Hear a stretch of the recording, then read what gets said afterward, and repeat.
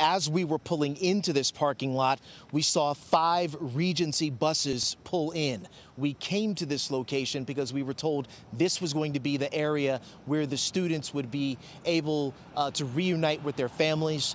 The students, you can see people sitting on the buses, and we are presuming that the students are on these Regency buses, and they have not come off the bus yet. But there are several police officers standing alongside this row of buses, which came into the back of this SUNY building here.